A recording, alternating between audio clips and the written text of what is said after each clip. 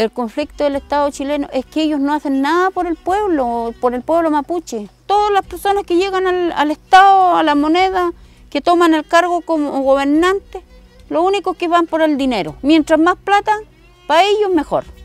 Pero no miran el pueblo, no miran, no miran su país, como está Chile.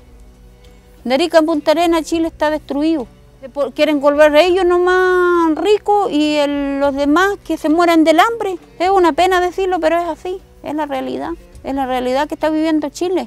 El Estado chileno en el año 73, cuando fue el golpe militar, los mapuches eran dueños de esas propiedades, lamentablemente, porque no pagaban contribución, se apoderaron de todos esos campos. Y de ahí el Estado le empezó a vender a, a las empresas transnacionales que vienen de otros países, que vinieron a plantar el eucalipto, vinieron a instalar represas como hidroeléctricas. Eso pasa igual porque el pueblo mapuche no tiene entendimiento y la gente mapuche de repente no tiene los recursos como para sobrevivir.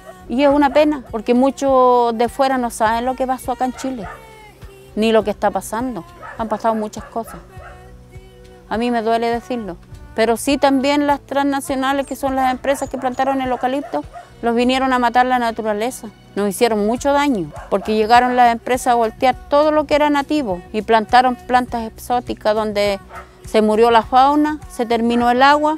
Ahora nosotros en diciembre a abril nos tienen que estar yéndolo a dejar agua a los domicilios porque ya no hay agua. ¿Por qué pasan esos, esos tremendos conflictos que ahora en, en Temuco con las quemas de camiones?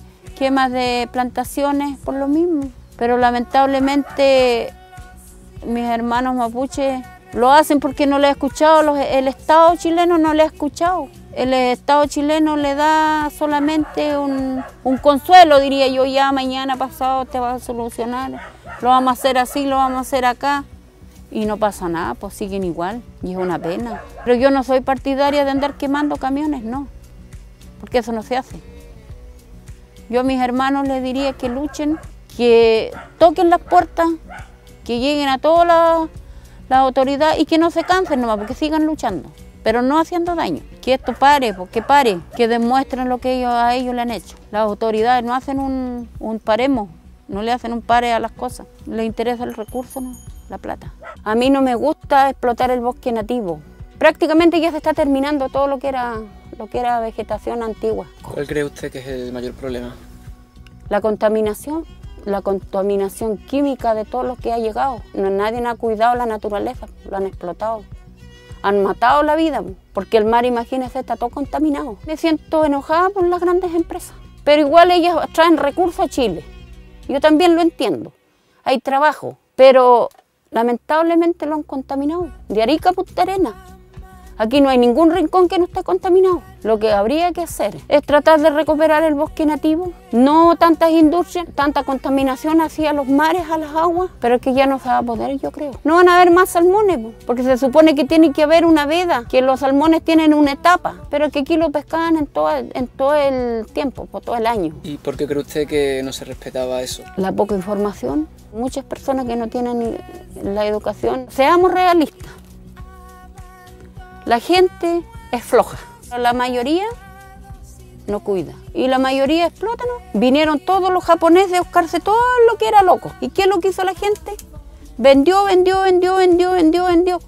Vendió estas almas. Y ahora no tienen loco ni siquiera para hacerse unas empanadas ni para hacerse un ceviche, porque no lo cuidaron. Pues. ¿Y qué hicieron la plata? tomaron, la farrearon. Es que la gente es así, la gente piensa que nunca se va a terminar. La avaricia. Porque mientras más plata yo tengo y si no lo sé cuidar no vale nada de tener más o menos. Porque si yo la cuido voy a tener pues, lo mismo que ha pasado con los bosques nativos.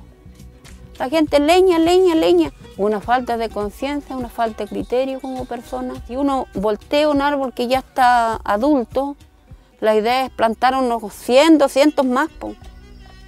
Reproducir los árboles. Igual que yo si no tengo comida me voy a morir del hambre, y así va a pasar lo mismo con los pajaritos, con, todo, con todos los seres. Yo aquí me alegro, siembro arvejas, siembro porotos, siembro de todo por allá, habas. Pero aquí bajan bandadas de pajaritos, me están comiendo todas las arvejas, pero yo los dejo ahí. Llegará el próximo año y lo volveré a sembrar, para que puedan sobrevivir, porque todos queremos vivir en esta vida. No solamente yo ni mis hijos, todos necesitamos vida.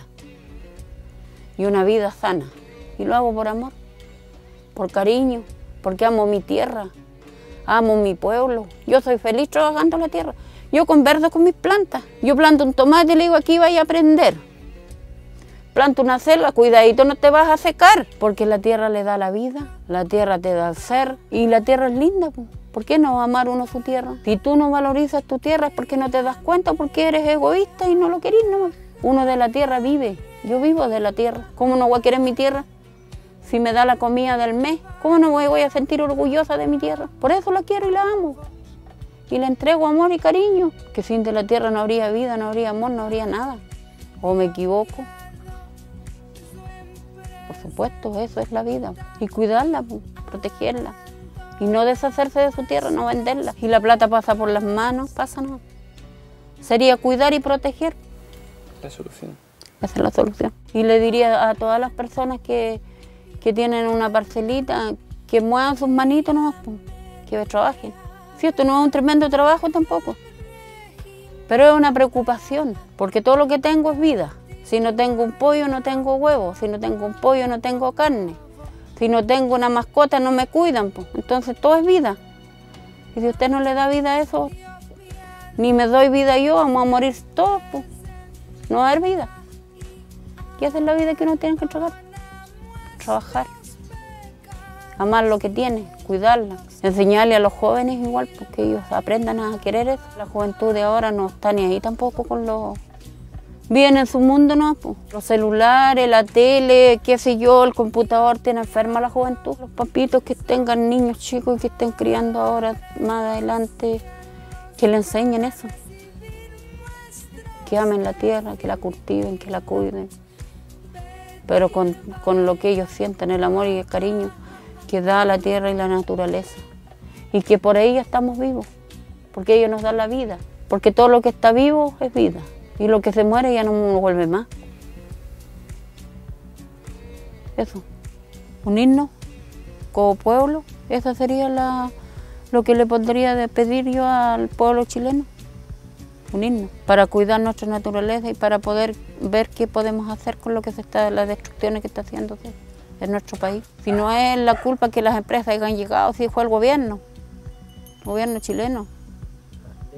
Las leyes. O salga el presidente que salga y ya está todo así embarcado, eso están amarrados. No sé si alguna vez lo desatarán, yo ya no creo, porque eso hicieron compromiso. Pero le pido a mis hermanos de Temuco, Bio Que hacen labor, no, que no, sea, no hagan daño, porque le hacen daño al país también, a la naturaleza matan y eso es malo, no se hace. Que no se pierda nuestra cultura, porque nuestra cultura es sagrada, es de nuestros ancestros y no nos sentamos avergonzados como mapuche de, lo que somos. Eso, eso le diría a mi pueblo y a mi país entero, a todo Chile. ¿Usted se siente chilena? Por supuesto, soy chilena, soy mapuche huilliche y no me avergüenzo, soy orgullosa. Ah,